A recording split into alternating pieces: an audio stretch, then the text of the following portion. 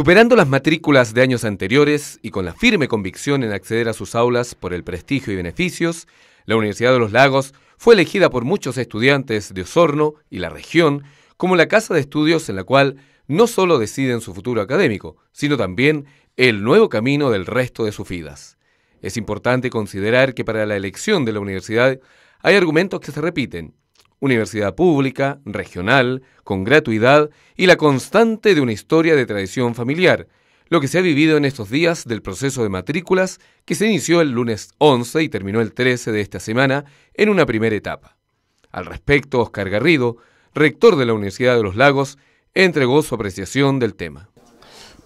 Estamos, muy satisfechos, yo siento que ha sido un proceso excepcional en el sentido de que a diferencia de años anteriores, hoy día tenemos un incremento por sobre el 20% de la matrícula y hemos superado la estadística original que nos había entregado el propio Ministerio, eh, donde ya estamos sobre el 60% de gratuidad de los alumnos que ingresan a primer año.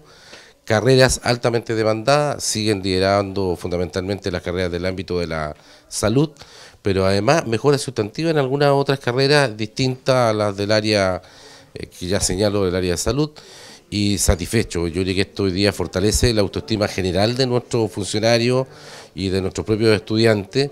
Y por otro lado, yo creo que lo más central es sentir cómo las familias de la región llegan a la universidad y ven que se va concretando una política tan sustantiva como es la gratuidad y les da la tranquilidad de poder asegurar que su hijo, en la opción de tomar una carrera profesional o técnica, eh, les permite de alguna manera cumplir con el sueño y aspiración que tienen. En cuanto a la elección de la Universidad de los Lagos en su rol de universidad estatal, regional y gratuita, Cecilia Plana, secretaria de Estudios y encargada del proceso de admisión 2016, se refirió a la importancia para el estudiante de esta decisión.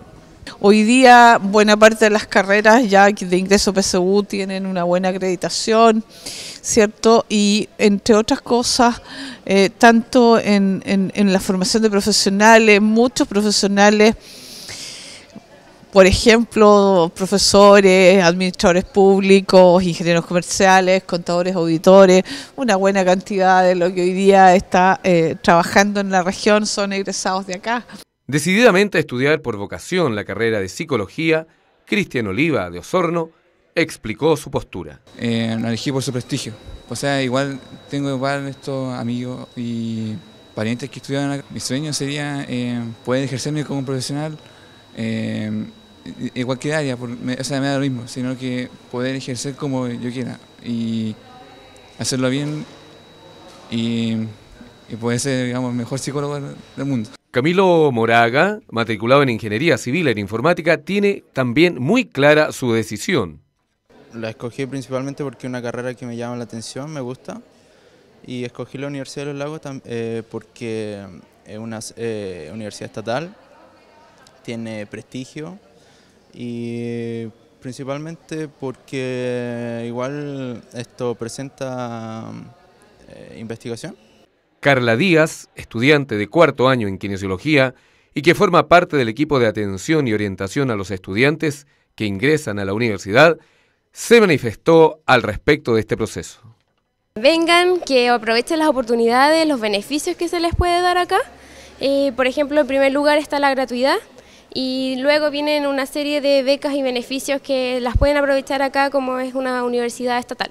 Finalmente, recordar a los estudiantes la invitación a seguir postulando en esta segunda etapa que se extiende desde el 14 de enero hasta el 20 del mismo mes.